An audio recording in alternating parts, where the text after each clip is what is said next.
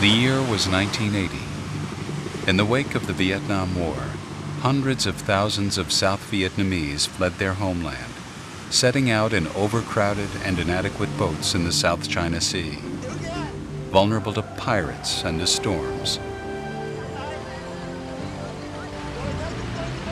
A third of them drowned. Among those determined to help the refugees caught up in these dramatic events was Pedro Arrupe, Superior General of the Jesuits, an international Roman Catholic order of priests and brothers. This was not the first time Father Arrupe had found himself responding to a crisis. On August 6, 1945, he was living in Hiroshima when the first atomic bomb flattened the city.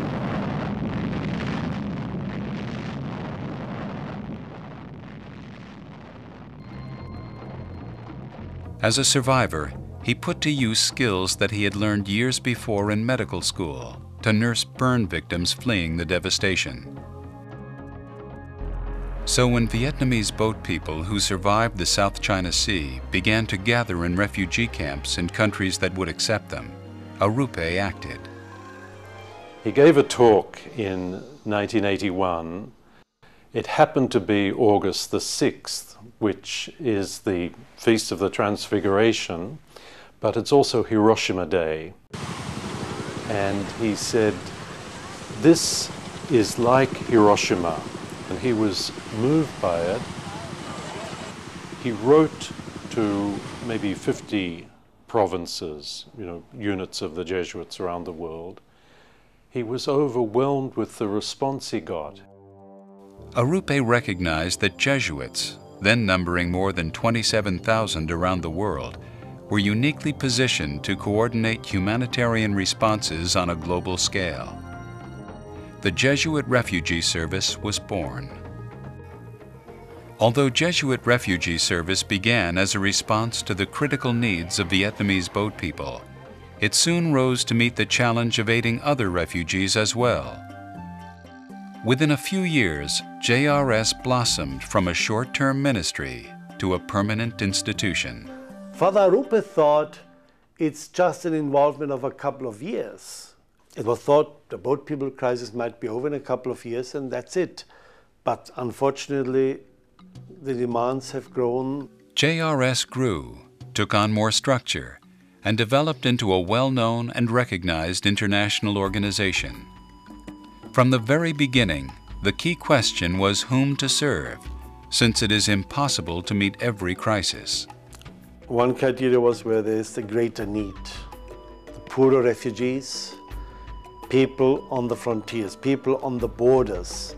Among the refugees, the more vulnerable, and another criteria is where others don't go. In those places where JRS did go, they soon developed a set of guiding principles. They set a high priority on accompaniment, being with the people first of all. You know, the refugee doesn't leave home in order to get a shirt or food. This, they, they left behind the spirits of their ancestors, they left behind their parents, they left behind their whole life. So what they want is someone who understands that. The hinge of our way of trying to do that is the accompaniment.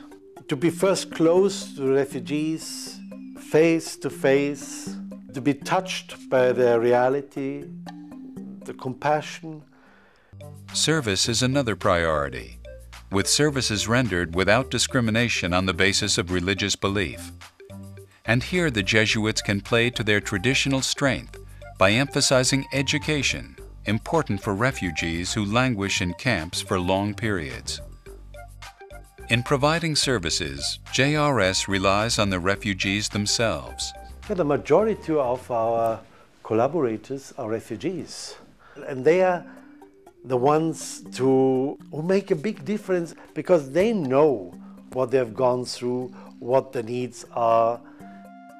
But we have also quite a number of volunteers, international volunteers. A third priority for JRS is advocacy, providing a voice for refugees and displaced persons to the governments and institutions that control their lives. It's because if people have no hope, it is um, it's very difficult, um, and that is something. One of our mandates to keep hope alive. Conflicts are a spiritual problem.